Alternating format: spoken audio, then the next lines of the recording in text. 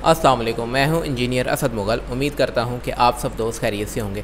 आज की इस वीडियो में बात करते हैं कि रोज़ा रख के प्यास को कैसे कंट्रोल किया जा सकता है। शदीद गर्मी का मौसम है और ऊपर से रोज़ा रख के जो प्यास की शिद्दत हमें महसूस होती है, वो वाकई ही तकलीफ़ दे होती है। तो आज की इस वीडियो में कुछ टिप्स आपको बताऊँगा जो मैंने आजमाई हुई हैं और इन आपको भी इसका फ़ायदा होगा। तीन काम आपने करने हैं। सबसे पहले नंबर पे जैसे ही आप रोज़ा इफ़ार करने लगे तो फ़ौर ही आपने उसके बाद खाना नहीं खाना। अपने मैदे को कम अज़ कम पंद्रह मिनट की ब्रेक देनी है।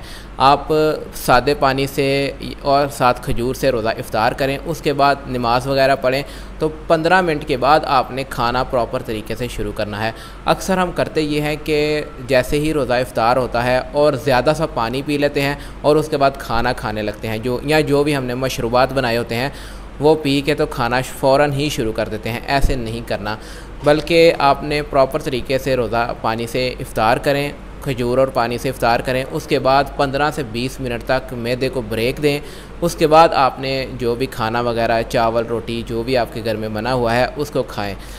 हाँ खाने में आपने नमक का इस्तेमाल कम करना है, क्योंकि नमक एक ऐसी चीज़ है जिसको डिज़ोल्व करने के लिए या जिसको मैदा हज़म करने के लिए पानी का ज़्यादा इस्तेमाल करता है। जिसम से पानी वो ज़्यादा खींचता है जिसकी वजह से आपको सारा दिन प्यास महसूस होती है। इसलिए आपने नमक का इस्तेमाल कम से कर, कम करना है। ये जो पकोड़े समोसे वगैरह हम इफ़ार में इस्तेमाल करते हैं इनमें ज़्यादा नमक शामिल होता है। नमक की काफ़ी मकदार इन चीज़ों में शामिल होती है। तो कोशिश करें कि इन चीज़ों से परहेज़ करें और नमक का इस्तेमाल कम करें। दूसरे नंबर पर दूसरे नंबर पर आपने दो बोतलें पानी की भरनी है। डेढ़ लीटर की जो पानी की बोतल होती है हमारे घर में, वो आपने दो बोतलें भर लेनी है। पहली बोतल सादे पानी की रखें, उसके अंदर कोई चीज़ भी आपने ऐड नहीं करनी, कोई चीज़ भी शामिल नहीं करनी। दूसरी जो बोतल होगी, उसके अंदर आपने पाँच छः पुदीने के पत्ते शामिल करने हैं। इसके साथ ही अगर आपको शुगर या ब्लड प्रेशर का मसला नहीं है तो ये फार्मेसी से ग्लूकोज़ मिलता है। ग्लूकोज़ के आप चार चम्मच उस बोतल में शामिल कर सकते हैं। अगर आपको शुगर का या ब्लड प्रेशर का मसला है तो आप उसको भी सादा ही रहने दें। सिर्फ़ आपने उसके अंदर पुदीने के चार पाँच पत्ते शामिल कर लेने हैं। ये दो बोतलें बन गई। अब जो सादे पानी की बोतल है, उसको आपने, जैसे आप खाना खाएँगे, खाने के बाद आपने आहिस्ता आहिस्ता थोड़ा थोड़ा करके नौ या दस बजे तक पहली बोतल को ख़त्म करना है। मुकम्मल तौर पे उसको ख़त्म करना है, पहली जो सादे पानी की बोतल है। उसके बाद आपने जो दूसरी बोतल है जिसमें आपने चार पाँच पुदीने के पत्ते शामिल किए होंगे या ग्लूकोज़ ऐड किया होगा, उसको आपने रात सोने तक, जब भी आप सोते हैं बारह बजे, एक बजे, ग्यारह बजे, जब भी सोते हैं, तब तक आपने उस दूसरी डेढ़ लीटर वाली बोतल को भी ख़त्म करना है।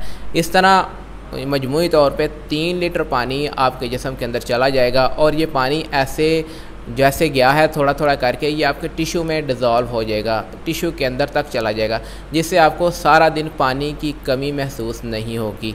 जितनी गर्मियाँ आजकल पड़ रही है, पसीना भी हमें बहुत आता है। अगर इन ऐसी, ऐसे हालात में पानी की कमी हो जाए तो बहुत ही संगीन मसला पैदा होता है। इसलिए आपने पानी की कमी नहीं होने देनी, और पानी की कमी को कंट्रोल करने के लिए ये सबसे बेस्ट तरीका है। अक्सर मैंने देखा है कि लोग, जैसे सहरी करते हैं तो सहरी में वो ज़्यादा लिक्विड इस्तेमाल कर लेते हैं, जो पानी वगैरह या लस्सी इस्तेमाल कर लेते हैं। तो जैसे हम वहाँ पे इस्तेमाल करते हैं जल्दी जल्दी कोई चीज़ पानी, पीने की कोशिश करते हैं तो जो पानी हमारे जिसम में जाता है, वो फ़ौर निकल भी जाता है। टिशू तक वो पहुँचता ही नहीं, जिसम उसको अच्छे तरीके से अब्जॉर्ब ही नहीं करता तो वो पहले ही बाहर निकल जाता है, जिसका कोई फ़ायदा नहीं होता। इसलिए आपने ये जो तीन लीटर पानी है, थोड़ा थोड़ा थोड़ा करके जब तक आपने सोना है तो इसको प्रॉपर तरीके से इस्तेमाल करें। इन आपको प्यास का या पानी की कमी का मसला नहीं होने लगा। इसके साथ साथ जो हमने दूसरी पानी की बोतल में पुदीना ऐड किया है, वो आपके जिसम को ठंडा रखेगा। मैदे के जो हज़म करने वाला सिस्टम है, उसको भी बेहतर रखेगा। अक्सर ये भी होता है कि रोज़ों के दिनों में हमारा पेट भी ख़राब हो जाता है और भी काफ़ी सारे कब्ज़ के मसाइल पैदा हो जाते हैं। तो ये सारी चीज़ें भी आपकी कंट्रोल रहेंगी। जैसे पानी पूरा रहेगा, उसके साथ पुदीना आपके मैदे को भी ठीक रखेगा और आपने जो पहले नंबर पर मैंने बताया है कि नमक को कंट्रोल करना है, नमक का इस्तेमाल कम से कम करना है तो उससे भी आपको बहुत हद तक फ़ायदा होगा। ये कुछ टिप्स थी जो मैंने खुद आजमाई हुई हैं और मुझे इस चीज़ का बहुत ही ज़्यादा फ़ायदा हुआ है। तो मैंने सोचा मैं आप दोस्तों के साथ भी इस चीज़ को शेयर करूँ। दोस्तों, अगर आपके जहन में भी कोई इस तरह के मुफीद मशवरे हैं तो कमेंट में ज़रूर बताएँ ताकि दूसरे लोगों का भी फ़ायदा हो सके। अगर आपके जहन में कोई सवाल हैं तो मुझे कमेंट कर, कमेंट करके पूछ सकते हैं। मैं इन बर वक्त रिप्लाई करूँगा। वीडियो पसंद आए तो इसको लाइक और शेयर ज़रूर किया करें। मिलेंगे इन एक नई वीडियो के साथ। तब तक के लिए मुझे इजाज़त दें। अल्लाह हाफिज़।